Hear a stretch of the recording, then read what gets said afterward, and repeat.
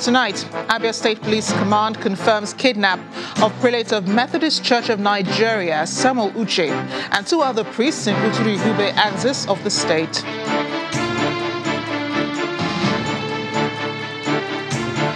APC presidential hopeful Bola Tinubu describes PDP presidential candidate Atiku Abubakar as a worthy opponent for 2023 as main opposition party elects the former vice president as its flag bearer for the 2023 presidential poll. Upsets as more candidates emerge for APGA and APC senatorial seats in the southern geopolitical zones. And Ukrainian President Volodymyr Zelensky visits troops on the front line of war in Kharkiv as Russia claims full control of the city of Lyman in the Donetsk region. We start tonight with the news of the reported kidnap of the prelate of the Methodist Church of Nigeria, Primate Samuel Uche. Reports indicate he was kidnapped today along the Uturu Ihube axis of Abia State. A police public relations officer in Abia State, Jeffrey Ogbonna, has confirmed the report. According to him, efforts are in top gear to, towards securing uh, his rescue as well as those of other priests who were with him at the time of the incident. A police ask for credible information from members of the public that could help with the efforts for rescue. Politics now, former Vice President Atiku Abubakar has won the PDP presidential ticket to win the contest with uh, 371 votes ahead of his close contender, Governor Nyesom Wike of Rivers State, who polled 237 votes. Third in the race is former Senate President Bukola Saraki with 70 votes, followed by Governor Udom Emmanuel of Akwa Ibom State with 38 votes. Governor Bala Muhammad of Bauchi State polled 20 votes, while former Senate President Pius Anyim polled 14 votes.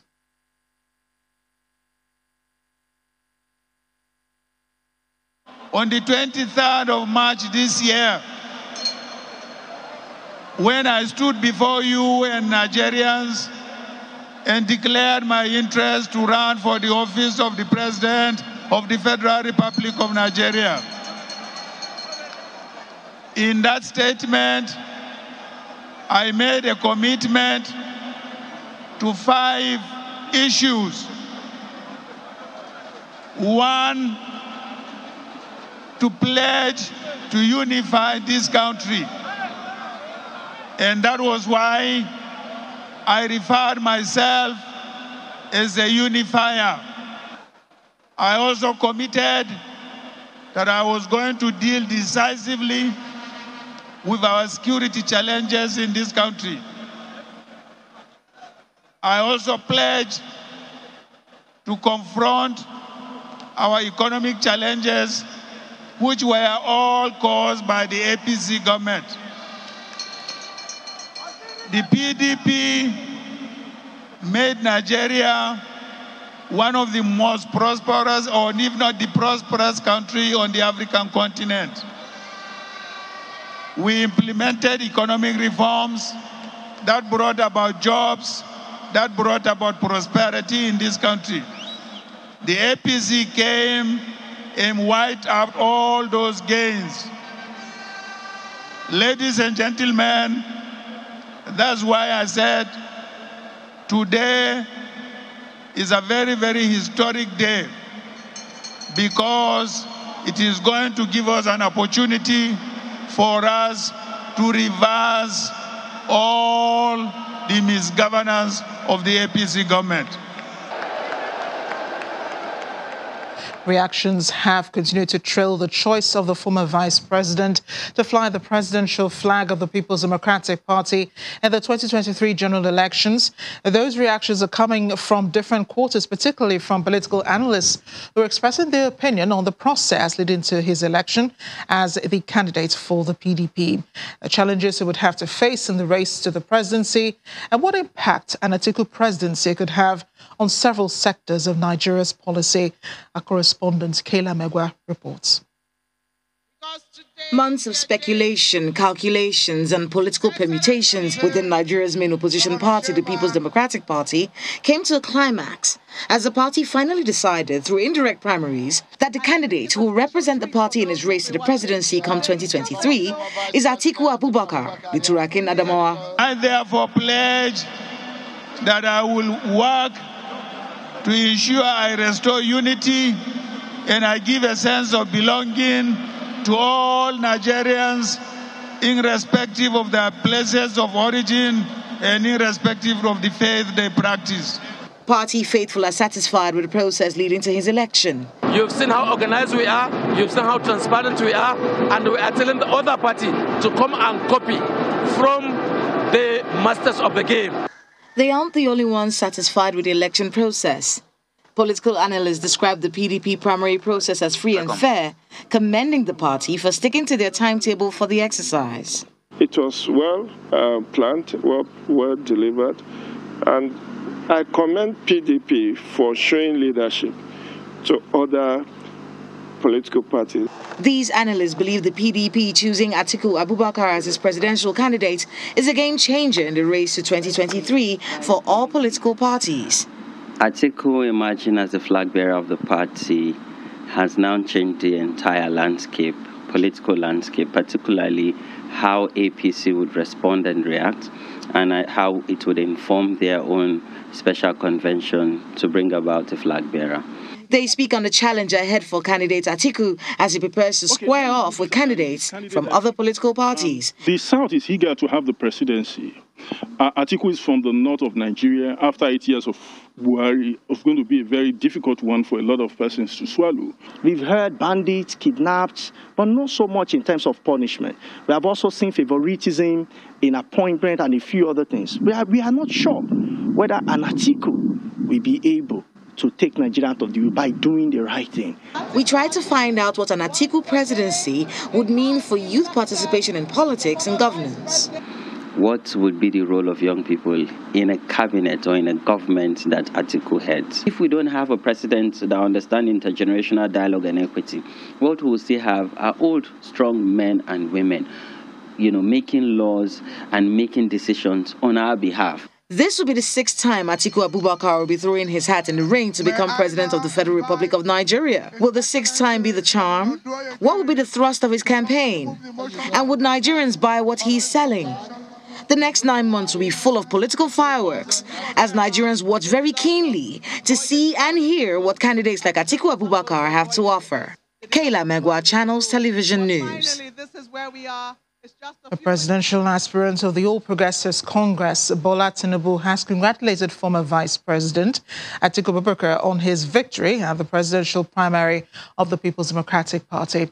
In a statement today, Senator Tinubu believes former Vice President Atiku will now fly the main opposition party's flag again in the 2023 general elections. Uh, he believes he will be a, a worthy opponent. Similarly, another presidential aspirant, Peter has congratulated former Vice President Atiku Abubakar on his emergence as the flag bearer of the PDP in the forthcoming presidential election. Obi, who was Atiku's running mate in the 2019 election, took to Twitter today to share a warm message of compliments for his associate.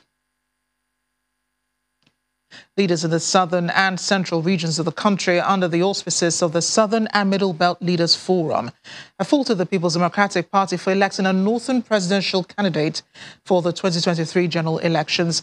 They describe the outcome of these sides as an affront to the people of the South and ask politicians in the region to reject any nomination for the office of the vice president. In a communique jointly signed today by leaders of the groups made, who made the forum, they specifically faulted the emergence of the former vice president as the main opposition party's flag bearer. The group says undoubtedly the singular motive is to perpetuate the hegemony of the North, given that President Muhammadu Buhari, a Muslim from the North and Fulani on, of Fulani origin, will be competing, completing his full tenure of eight years by this time next year. SMBLF calls on all politicians of southern extraction to refuse the position of a running mate to any northern presidential candidate, which will equally be viewed as subjugating their people to political slavery.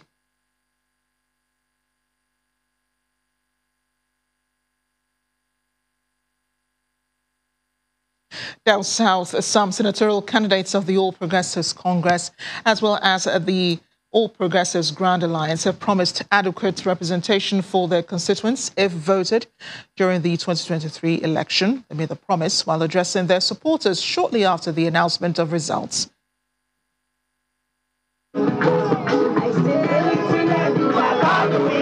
It's dance time for Joel Thomas Onowakoh and his supporters. That's how he chooses to celebrate his win at the APC primary for Delta South Senatorial District. Although he is unopposed, the party goes on to conduct the primary. He is sure of victory for his party at the general election come 2023. I'm someone with wide experience in governance, and I'm someone with wide experience in public service and private uh, uh, service, and I will bring those experiences to the National Assembly with my other colleagues. Like in Delta South, Delta Central Senatorial District also produces a sole aspirant for the primary We'll embark on sensitizing the people on the mission of APC in Delta. We will embark on ensuring a maximum registration of Deltans, not just Delta Central, the whole of Delta. In Cross River State, it's a large turnout of delegates who are here to elect the flag bearer for the state's northern senatorial district. It's a contest between two, Cecilia Adams and Martin Orim, a former chief of staff to the governor. By the end of the exercise, Martin Orim polls 254 votes out of a total of 255 accredited delegates, leaving his contender with no vote. I want to assure them that this mandate they have given to me, I will cruise with it to victory in 2023. In Ekiti State, there is a mild drama at this venue in Ifaki, where delegates are waiting for the exercise to begin. Journalists are protesting an order by the spokesperson of the All Progressives Congress in the state that they be barred from covering the process. Calm soon returns and voting gets underway before thugs invade, interrupting the process. The military intervenes, restoring calm. Senator Olubunmi Adetunmbi scored 85 votes. Honorable Cyril Fashuyi polled 111 votes. At Ekiti South and Central districts, both aspirants win unopposed. Delegates of the All Progressive Grand Alliance in Anambra Central Senatorial District converge on the Professor Dora Akunyili Women Development Center. They look in high spirit as they elect the party's senatorial representative. They cast their ballot to determine who of the three aspirants is better fit for the role. I'm here to tell our people that I'm going to work for them. I'm here to serve. I've served even in the parliament. I've worked. I, I believe in result. I'm a result-oriented parliamentarian. This phase done with, these contenders will be slugging it out with others outside their parties come Saturday, February 25th, 2023. Former APGA National Chairman Victor Umeh suffered a major upset today in the race for the Anambra Central Senatorial District seat to Honorable Dozie Nwankwo. Umeh polled 151 votes, while Nwankwo, who represents Anaocha Njikoka Dunukofia Federal Constituency, recorded 162 votes in an exercise held at the Professor Dora Akunyili Women Development Center. The APGA returning officer for the Anambra Central Senatorial District primary election, Mrs. Elizabeth Mokocha, announced the winner after a peaceful voting process. At the Northern Senatorial contest in the state, the former First Lady, Ebele Obiano, won the North Senatorial ticket in the primary election. Mrs. Obiano won the race on the platform of the All Progressives Grand Alliance. She defeated the immediate past chief of staff to her husband, Mr. Primus Odili, to clinch the senatorial, uh, senatorial ticket, which was held at the Chuba Ikpeazu Stadium, Onitsha.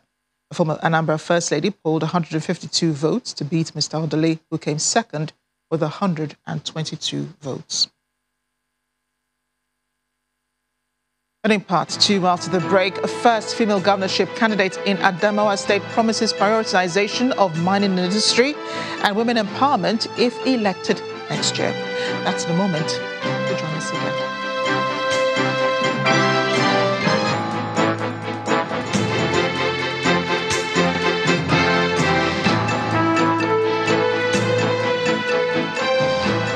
Welcome back. If you just joined us to watch the news at 10 live on Channels Television Lagos. A reminder of our top stories. Abia State Police Command confirms kidnap of prelate of Methodist Church of Nigeria, Samuel Uche, and two other priests in Uturu Ihube axis of the state.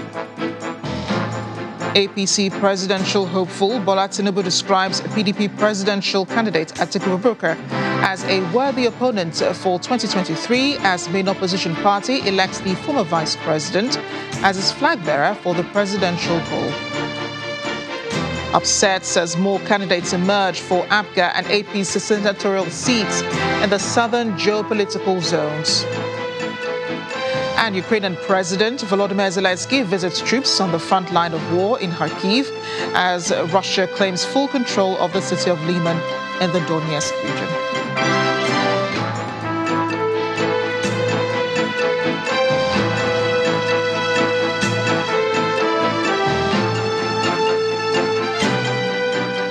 Stay with developments on the electoral scene this weekend. The People's Democratic Party says it has, after very extensive consultations, cancelled all primaries in Ebonyi State. A statement by the National Publicity Secretary, Honorable Debo, Debo Ologunagba, says the decision was made after extensive consultations and deliberations by the National Working Committee of the party. A party charges all aspirants, critical shareholders, leaders, and members of the great party in the Ebonyi state to remain calm, united, and focused as the PDP takes firm steps to rescue the nation from the misrule of the All Progressives Congress.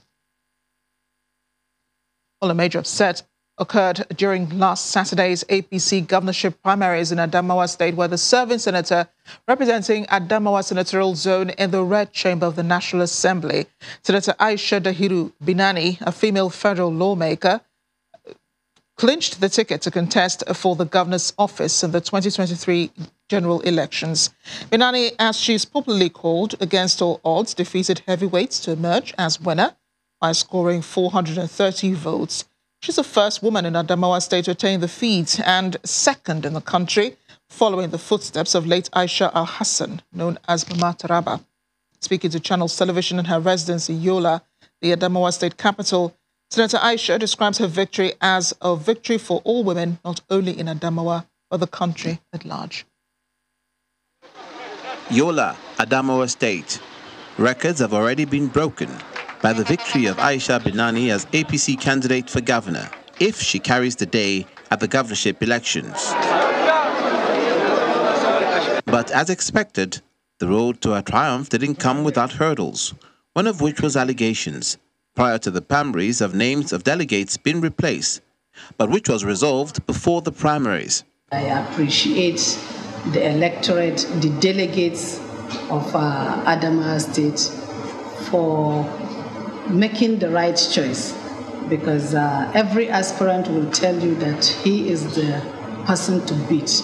In her reaction to her candidacy, she discloses what her priorities will be if she becomes the first female governor of Adamawa State, which will also make her effectively the first elected female governor of a state in Nigeria.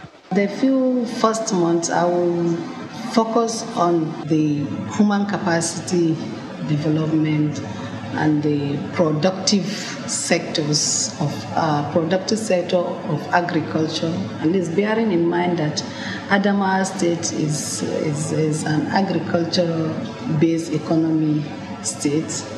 We have the mining and uh, industrialization. All these are sect are reproductive, are productive sector, which if being if it is being harnessed together, it will certainly boost the, GP, the GT, GDP of the state. So I think I will give it priority.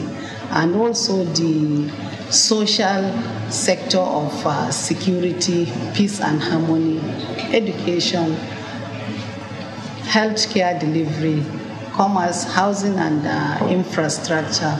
The coast is now clear for Senator Aisha Binani to focus on persuading voters to support her for governorship of Adamawa State. As the other political parties present their own candidates, it can be expected that the elections will be keenly contested. The All Progressives Congress Governorship Election Committee has declared the suspended Catholic priest, Mr. Hyacinth Alia, as the Benue State APC governorship candidate, just as aggrieved aspirants kicked against the adoption of direct primaries, alleging that the entire process is fraught with irregularities. Chairman of the committee, Mr. Peter Ojie, while announcing the results after a 72 hour long process, that began with delegates arriving for indirect primaries before it was cancelled, and a new directive issued for the direct primary mode says Mr. Alia emerged with a total of 526,807 votes to beat 12 other aspirants. Reacting to the declaration, some of the aggrieved aspirants are threatening to challenge the process, alleging it is fraught with substantial non-compliance with the Electoral Act with regard to the time frame, authentication of voter register, and deployment of election materials to all the 276 council wards in the state.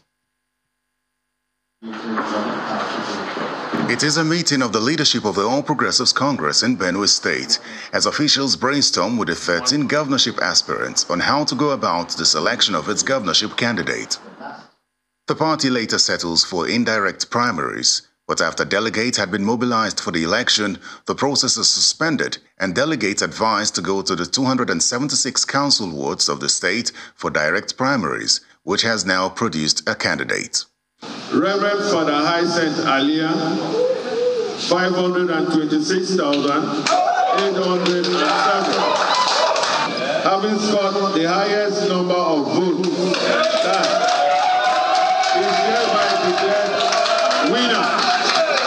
this legacy of transparency and accountability will be faithfully bequeathed into our political dealings come 2023. But some aggrieved aspirants are not taking the outcome for granted, as they have raised issues concerning the procedure and how and what to do when conducting direct primaries. My own ward, where election materials came so late, I got about 2,900 votes.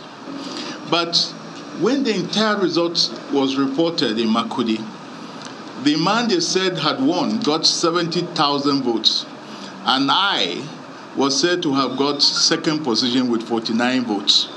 49, not 49,000. So, and some other aspirants from my local government were said to have got zero. Not even members of, his, of their families vote for them. So you know exactly what is happening. We are not bothered. We know that it's been a sham, it's a charade.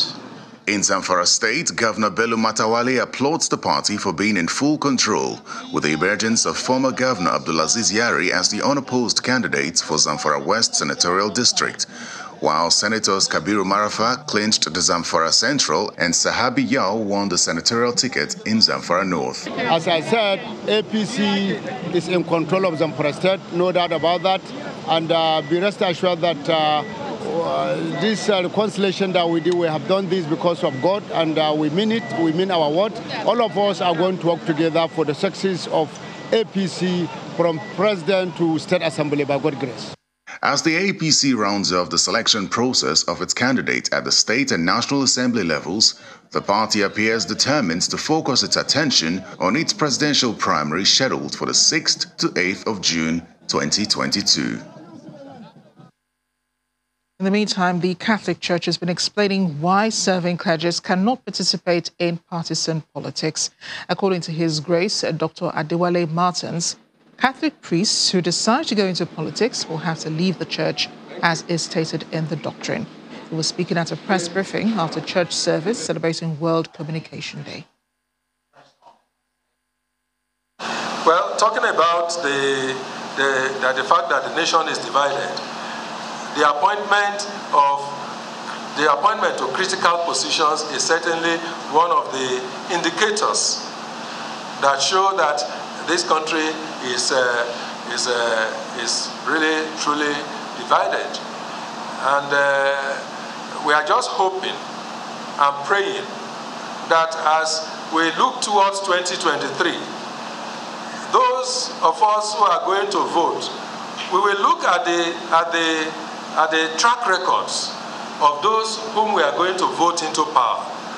We look at track records of how much they have been in the forefront of promoting unity, not by word of mouth, but by action, by decisions, by the way they, by what they say and by what they do. I believe that this is absolutely necessary in deciding upon those who will lead us into the, into the future. Yes, indeed, there was a, a priest of Gboko Diocese that was suspended uh, because he decided to engage in partisan politics.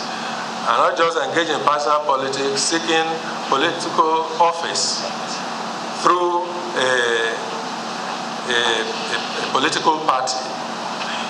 Well, the, the discipline of the church is that anyone who has holy orders, anyone who is a priest or who is a religious, cannot participate in partisan politics without without uh, without undermining the position that he holds as a religious leader, as a spiritual guide. Still ahead on the news at 10. Gunmen kill lecturer in Nasarawa State, kidnap daughters. Police launch manhunt to apprehend attackers. That's in a moment.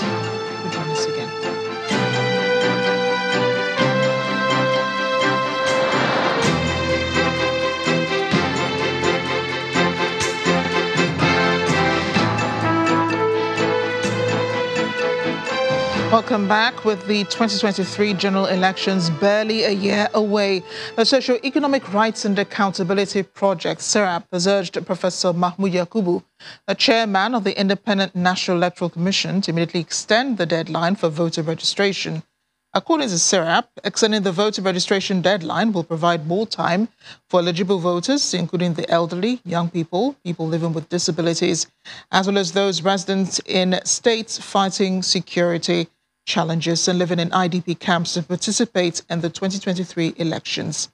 In a letter dated May 28, 2022, and signed by SERAP's Deputy Director, Kolawole Oluwadare, the organization says voters are also critical stakeholders in the electoral process. SERAP further states that extending the deadline for voter registration would be entirely consistent with constitutional and international standards and the Electoral Act.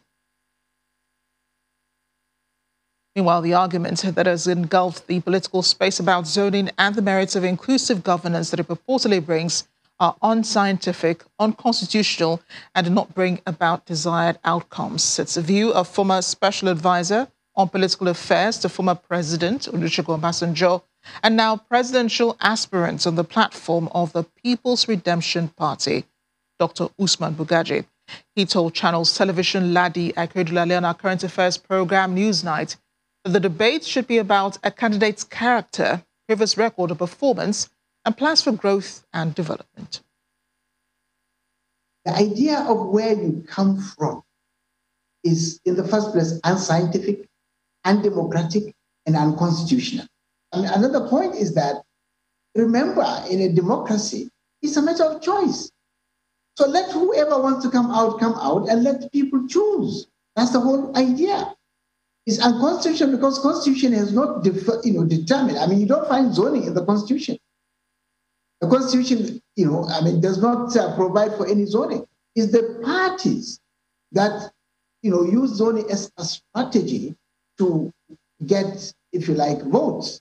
If they think there are people who are interested in this and if they put forward this particular person. But look at it this way. We have done zoning in a way. What has actually zoning brought to this country? I mean, we started right from the, the, the, the 1999 with some kind of zoning because it was the North that agreed that the presidency should go to the South. And that's how Obasanjo was persuaded to come and, uh, and contest. And I was there when these things were being discussed, right? He finished, and then somebody came from the North, and it didn't, uh, it didn't last long. Uh, uh another person came from the South, and he did what he did, and then another person came from the north. So you, you, for me, there is sufficient scientific evidence that zoning is a stupid idea because we have done it. But look at where the country is. In the last 23 years or so, I mean, this country has become far more impoverished despite the unprecedented oil revenue that we got during this particular period. So these are issues that have detained our democracy and he has not allowed us to move forward. Look, look at the person who is coming. What is antecedent? What is he to offer? Put him in a debate, ask him questions, find out. He has a record. Find out that record. What has he done when he held offices that he has held? How clean is he? How corrupt is he? All this you can find out. That is what matters. It's not where you come from. And I've said it severally. I don't want to know where my president comes from. I want to know if my president is competent, if he is credible, and if he has what it takes to fix the problems of this country. That's what is important. You can watch the full interview with Dr. Bugaje on Newsnight as tomorrow, Monday, May 30, 2022, at 9 p.m. right here on Channels Television. Security now. Gunmen have killed a lecturer at the Isa Mustafa Agwai Polytechnic, Lafia in Nasarawa State. Mr. Zakari Kibu and abducted two of his daughters during the attack. A police public relations officer, Rahman Nansel, confirmed the incident to Channels Television today. The Commissioner of Police has since visited the scene, condoled with the bereaved, and assured the family of the victim that a comprehensive investigation will be carried out and no stone will be left unturned in order to rescue the abducted victims. Now, the Economic and Financial Crimes Commission has arrested a former governor of Zamfara State, Abdulaziz Yari. The anti-graft agency also picked up the chairman and managing director of Finex Professional, Mr. Anthony Yarrow. Both were picked for their alleged role in the 84 billion naira fraud involving former accountant general of the Federation. Yari was picked up at about 5 p.m. today, allegedly benefited to the tune of uh, 22 billion naira through Finex Professional.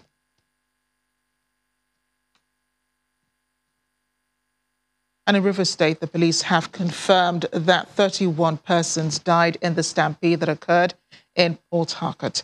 A public relations officer of the State Police Command, Grace Iringe Koko, confirmed this to Channels Television. Hundreds of people were queuing in anticipation of aid supplies at the Port Harcourt Polo Club in GRA when the incident occurred.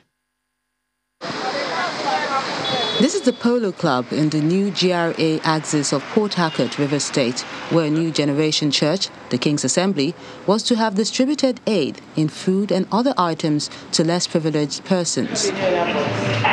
The setup in here shows how prepared the church was in attempting to manage the anticipated crowd. However, the unexpected happened when hundreds of persons arrived and attempted to push through the gate even before the organizers arrived the venue, leaving 31 persons dead in a stampede. So when I came, I saw the crowd and I saw people fighting, eager to enter the gates. But security was trying to hold them back. But the force, the crowd was so much, some were even suffocating there more than few people around that gate trying to stop the crowd, but the crowd was so much. So I believe in that case, some people were suffocating themselves. Some of the attendees are said to have arrived here a day before to beat the rush. People in the far back come here to sleep because of the food. What, how did they call it? Food, water, free food. When I come to the, come see all these things, when people die, even I was scared. The police have confirmed the casualty figure as efforts are on by Channel Television to establish contact with families of the victims and the organizers of the event.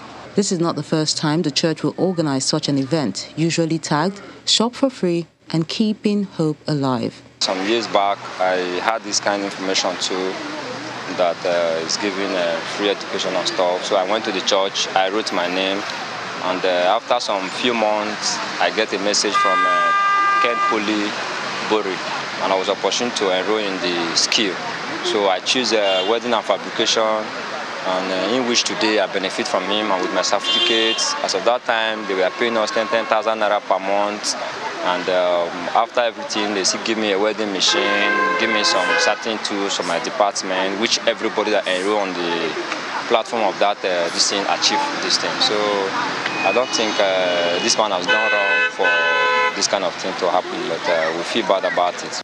A similar incident in December 2022 also claimed many lives as people rushed to collect palliatives from an e commerce company. Many are, however, blaming the stampede on the high rate of poverty in the country, while appealing to organizers of such events to be better prepared.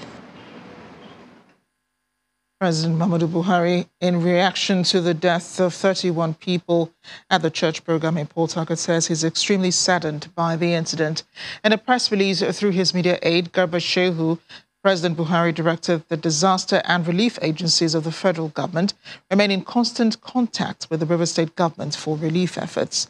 Meanwhile, the River State Governor, Nyesom Wike, is constituting a panel to investigate the deaths. He's also expressed his condolences to the families of the bereaved. A church, King's Assembly, whose program it was the incident occurred, in a press release by its Director of Administration, Chimeka Elem, disclosed that it happened hours before a benevolence and outreach program was due to hold at Polo Club Port Harcourt and has commissioned a team of safety specialists to establish the cause of the stampede and other measures to curb it in the near future. Health issues now. The outbreak of monkeypox, a viral zoonotic disease, is causing a stir as it spreads uh, to many non endemic countries in Europe, America, and the United Kingdom. According to the World Health Organization, in the third week of May, the number of people affected with this multi country outbreak, which up until recently was confined to endemic regions of West and Central Africa, was 92. But the tally keeps rising. Our correspondent, Mary Alale Yusuf, has more. The huge blisters of monkeypox are almost more frightening than the viral disease itself, which is closely related to smallpox. On May 6, 2022, a traveler from Nigeria to the UK started exhibiting symptoms of monkeypox.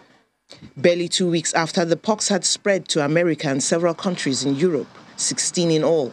And by the third week in May, the World Health Organization had recorded 92 confirmed cases. This is the first and, uh, widespread occurrence in non endemic countries, and the World Health Organization is calling it an outbreak.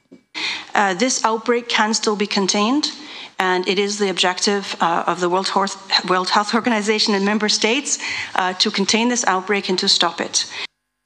Not so in Nigeria, where cases have been popping up since 2017. There is no outbreak of monkeypox. I think the term outbreak is being used wrongly. Yes, we are having cases of monkeypox, just like we continue. To, we have had uh, continue to have out uh, monkeypox cases since it re-emerged in 2017. So monkeypox is endemic to this environment. It's endemic to West Africa. So it's not that we know we have monkeypox around.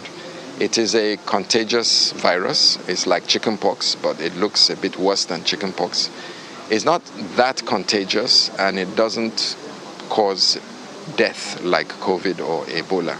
So the fact that monkeypox is showing up all over the world is a reflection of how mobile we are as human beings and a reflection of the fact that this environmental um, uh, degradation we're talking about, where we're forcing animals and human beings into the same space, is really a problem for the world. The first human case of monkeypox was recorded in the Democratic Republic of Congo in 1970, with sporadic cases occurring at different times in remote villages in Central and West Africa's tropical rainforests. Since 2017 to date, we have had about 558 um, monkeypox cases with about eight deaths. Um, this year alone, we've had 46 suspected cases reported and about eight um, cases confirmed with no deaths. Three other African countries, Cameroon, Central African Republic, and Democratic Republic of the Congo, have recorded cases of monkeypox between the 15th of December 2021 and 1st of May 2022. Up until recently, monkeypox has been rare because of protection conferred by the smallpox vaccine, but now more cases are appearing in unvaccinated people. Monkeypox presents with fever, extensive characteristic bumpy rash, and swollen lymph nodes. With no specific treatment for the disease, prevention and control involve avoiding sick or dead animals, proper cooking of all food containing animal meat, avoiding close contact with infected people, and regular hand washing with soap and water. Monkeypox is usually mild and self limiting and can be contained by isolating affected persons and treating symptomatically. Mary Alale Yusuf, Channels Television News. Nigerian children in South Africa and their friends from neighboring countries have joined in the celebration of Children's Day this weekend. Event hosted by the Consulate General in Johannesburg was put together by the Nigeria Women Association South Africa. Among the special guests present was the wife of the Nigerian High Commissioner to South Africa, Mrs. Hawa Manta. The new Consul General, Mr. Andrew Idi, who spoke on behalf of Ambassador Muhammad Manta, appealed to parents and older people and older children, uh, older people, the children come across to positively, positively mentor them in order to adequately prepare them to thrive in today's fast changing world.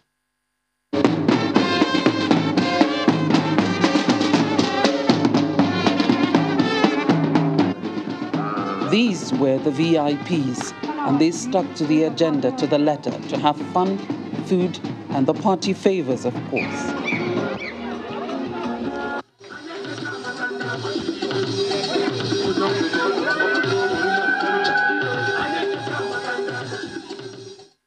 For the older people present, all the other elements, especially the march past, brought fun memories as the children basked in the joy of being honored by their nation.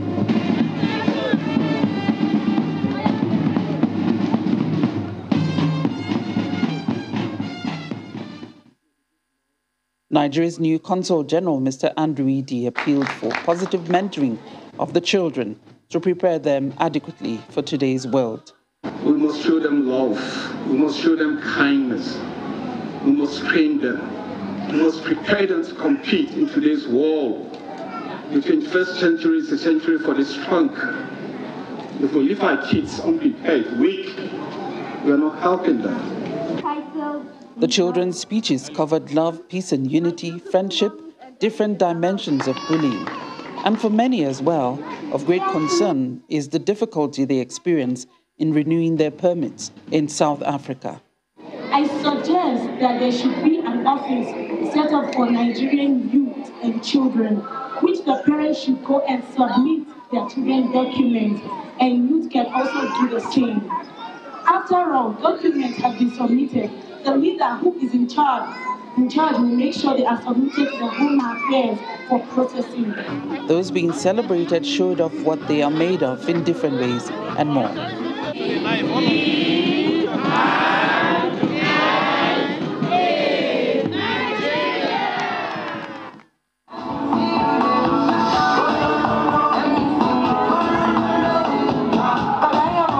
Spectacular. I just want to say thank you for Nigeria and thank you to all Nigerians. All done, the organizers of the event, the Nigerian Women's Association South Africa, sent off the children with prayers. God should just bless them. God should keep our children. God should make our children stand out wherever. At this point in time, when Nigeria is in so much chaos, my prayer is that the Lord will use our children to minister to these politicians that they are leading them astray.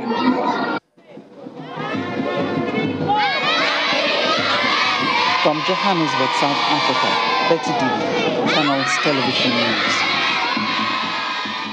Staying on the foreign scene, Ukrainian President Volodymyr Zelensky today visited uh, Ukrainian troops on the front lines in the northeastern Kharkiv region. A video emerged online of him visiting damaged buildings and stopping at a roadside where a number of burned out vehicles remained. It will be the first official appearance he's made outside the Kiev region since the start of the invasion. President Volodymyr Zelensky made his first official trip outside the Kiev region on Sunday since the Russian invasion of his country. His mission was to encourage those on the front line of the war in Kharkiv, 30% of which has been occupied by Russia since the invasion.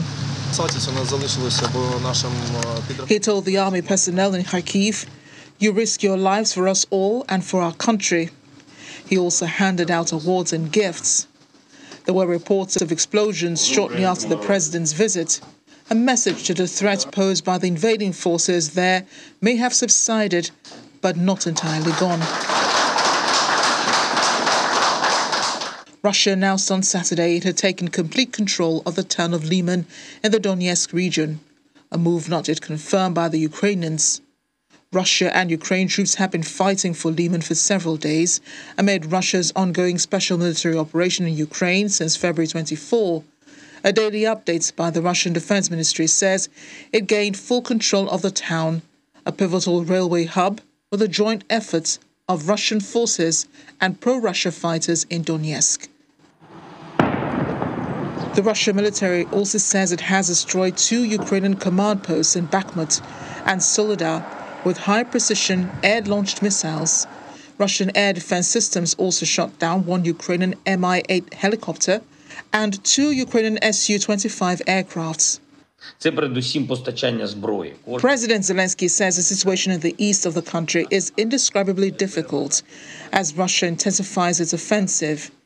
He says Ukraine is working to boost weapons supplies and is approaching the point where it would outnumber the Russians, both technologically and in terms of its ability to strike. Ukraine's defense minister says the country started receiving Harpoon anti ship missiles from Denmark arms that will bolster forces fighting Russia's invasion. He said Harpoon shore to ship missiles would be operated alongside Ukrainian Neptune missiles to defend the coast, including the southern port of Odessa.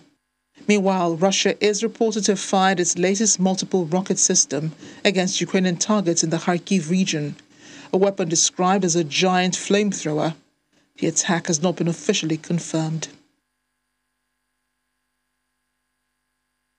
And just before we go to sports news, a PDP presidential candidate Atiku Abubakar today paid a thank you visit to the Sokoto state governor and former presidential hopeful Aminu Tambuwal in his Abuja residence. Mr. Abubakar was accompanied by his entourage, led by his campaign coordinator, Senator Dino Melaye. Mr. Tambuwal was until the 11th hour going to run against Mr. Atiku in the PDP presidential election but withdrew his candidacy and threw his support behind Mr. Atiku. Mr. Atiku eventually emerged victorious, polling 371 votes to defeat his closest rival, Governor Nyesom of River State, who polled 237 votes. Other contestants include former Senate President Anyim Pius Anyim and Bukola Saraki, and Governors Bala Mohammed of Bauchi State and Udom Emmanuel of Akwa Ibom State. Bringing it home, the Super Eagles of Nigeria have moved to New Jersey early today ahead of Thursday's clash with Ecuador at the Red Bull Arena in Harrison. The three-time African champions this morning lost by one goal to two against Mexico at the iconic AT&T Stadium in Dallas in what was the first match of coach Jose Peseiro as head coach of the Super Eagles in it is uh, so many first team players, including Captain Ahmed Musa. The game is the first time uh, they were coming together for any session since the disappointment of the 2022 FIFA World Cup ticket miss.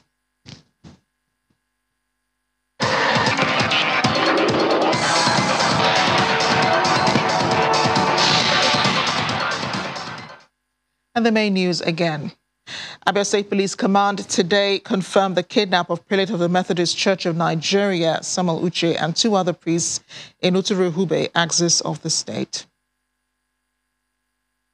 APC presidential hopeful Bola Tinubu congratulated the presidential candidate of the People's Democratic Party, Alhaji Abubakar. He described him as a worthy opponent for 2023. More senatorial candidates emerged on the platform of the People's Democratic Party and the All Progressives Grand Alliance in the southern geopolitical zones.